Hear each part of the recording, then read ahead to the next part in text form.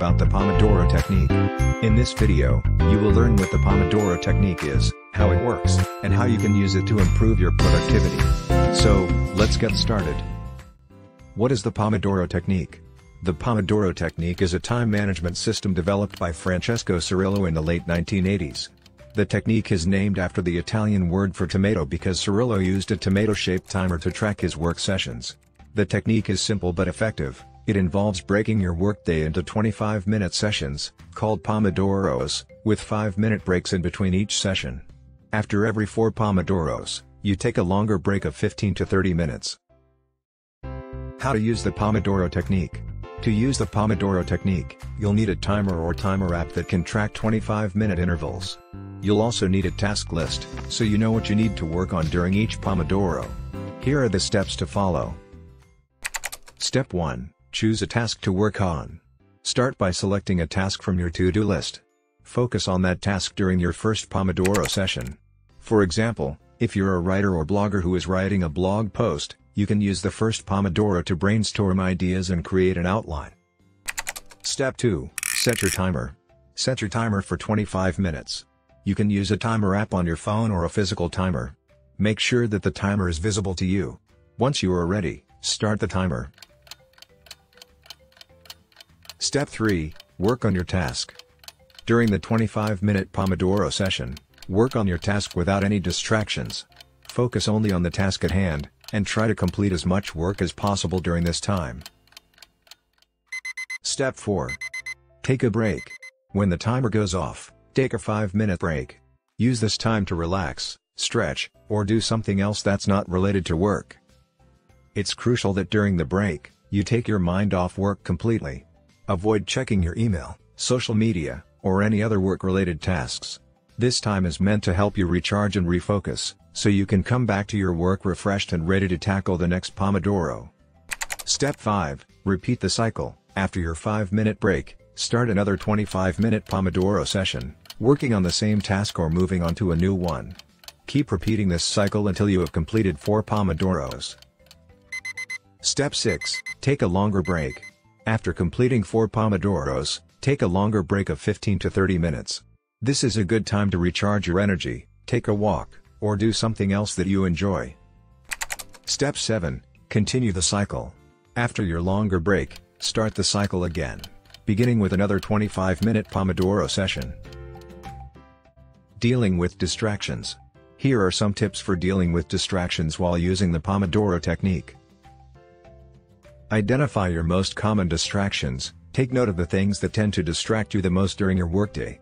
This could include social media, email notifications, or the TV. Once you've identified your distractions, you can take steps to minimize or eliminate them.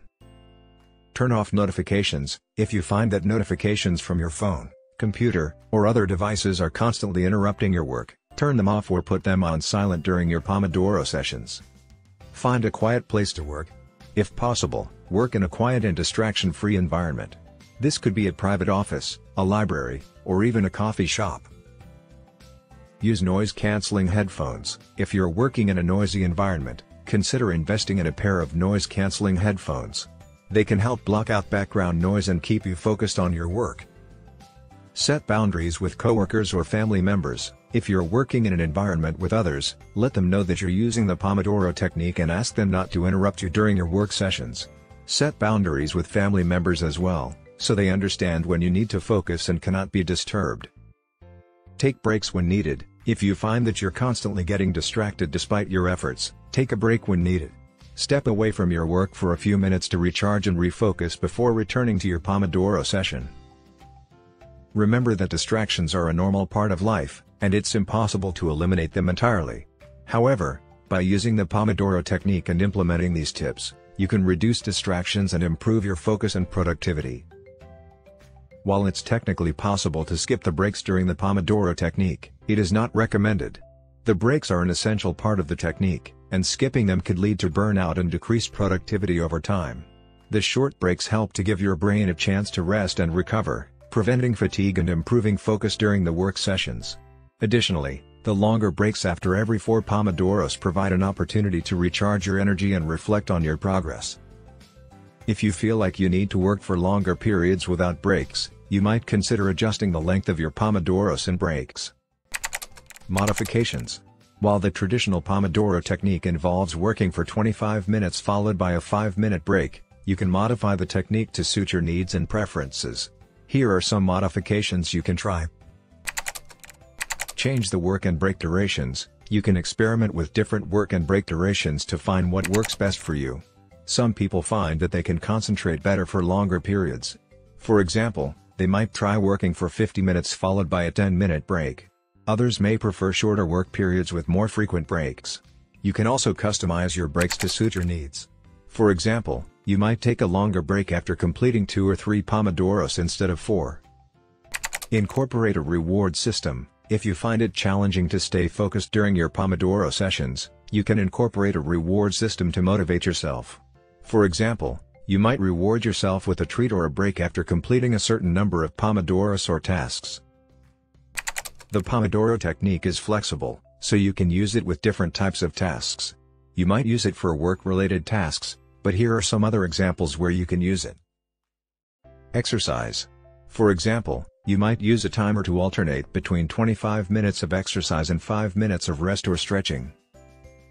Chores or housework. Even household tasks can benefit from the Pomodoro technique. By setting a timer and working on a task for a set period, you may find that you're able to complete your chores more quickly and with less procrastination. Creative work. If you're a writer, artist, or musician, using the Pomodoro technique can help you overcome creative blocks and stay on task. By breaking your work into manageable 25-minute chunks, you may find it easier to get into a flow state and generate new ideas. In summary, the Pomodoro technique can be useful in any situation where you need to focus on a task, avoid distractions, and manage your time effectively. Give it a try and see how it can transform your workday. Hey there, thanks for watching. If you enjoyed this video, please give it a thumbs up and hit that subscribe button below for more content like this. And don't forget to hit the notification bell so you never miss a new video. Thanks again, and we'll see you in the next one.